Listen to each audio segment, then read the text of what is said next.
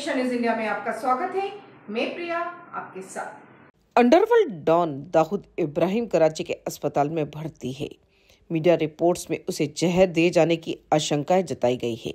हालाँकि अभी तक इसकी आधिकारिक पुष्टि नहीं हो सकी। वो दो दिन से अस्पताल में भर्ती है।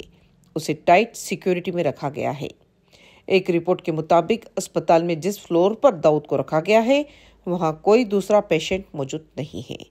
वहाँ सिर्फ़ उसके परिवार के लोग ही जा सकते हैं। इस मामले पर मुंबई पुलिस की नज़र है। मुंबई में दाऊद के रिश्तेदारों से इनपुट्स जुटाने की कोशिश की जा रही है।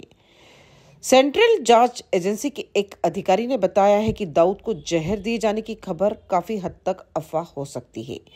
दाऊद की सिक्योरिटी इतनी मज़बूत है कि उस तक पहुँचने के लिए किसी भी शख्स को कम से कम 150 लोगों से गुजरना पड़ता है। दाऊद इब्राहिम भारत का मोस्ट वांटेड आतंकवादी है। एनआई ने पिछले साल इनामी राशि की लिस्ट जारी की। इसमें दाऊद पर 25 लाख का इनाम रखा गया है। दाऊद को संयुक्त राष्ट्र भी ग्लोबल आतंकवादी घोषित कर चुका है। यूनाइटेड नेशन सिक्योरिटी काउंसिल ने 2003 में दाऊद इब्राहिम पर 25 मिलियन डॉलर का इनाम रखा था। उसके खिलाफ कई राष्ट्रीय एजेंसियों द्वारा कई मामले दर्ज किए गए हैं। जिनमें मनी लॉन्ड्रिंग का मामला और हथियारों की तस्करी का मामला शामिल है। इसी के साथ बने रहिए एशिया न्यूज़ इंडिया के साथ। धन्यवाद।